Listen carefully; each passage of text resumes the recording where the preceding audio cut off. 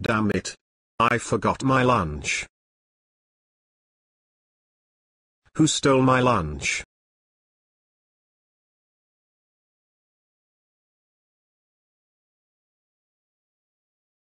Did you steal my lunch? No. Goodbye.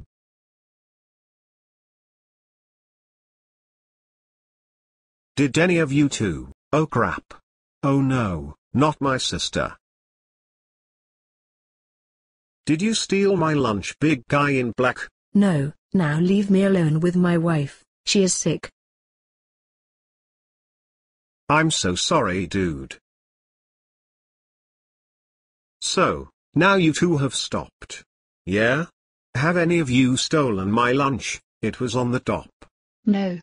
Or, have I stolen your lunch? I don't know, that is why I'm asking you. Well no I have not. However you are gay, just like me and your sister. Okay, that's fine. I'm off then. Sucker. If he tries to take it, he dies.